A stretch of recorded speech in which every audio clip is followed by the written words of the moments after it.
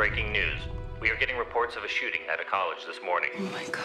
At least three faculty members are among the 17 known dead. Hi, Sammy. It's Mom. Call me back as soon as you can, all right? Love you. The campus is completely locked down. There's nothing we can do we there. just wait? What I'm we- sure it's fine.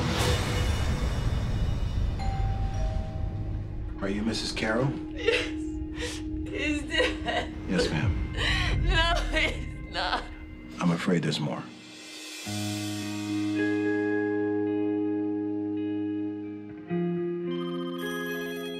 Just lost our son. What do they want from us? What news? We are deeply sorry for the devastation our son has caused. We are shocked and utterly heartbroken. Some things are better left Did we do something? forgotten. Did we not do something? Should take a few more weeks off. See somebody. I don't need to see anyone. Bill, it's not a suggestion.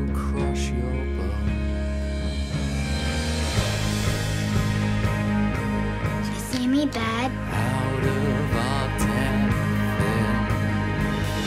So we're just gonna erase our son's memory. Is that it? We have to try to start moving forward. You should be defending Heather. No defense for what he did!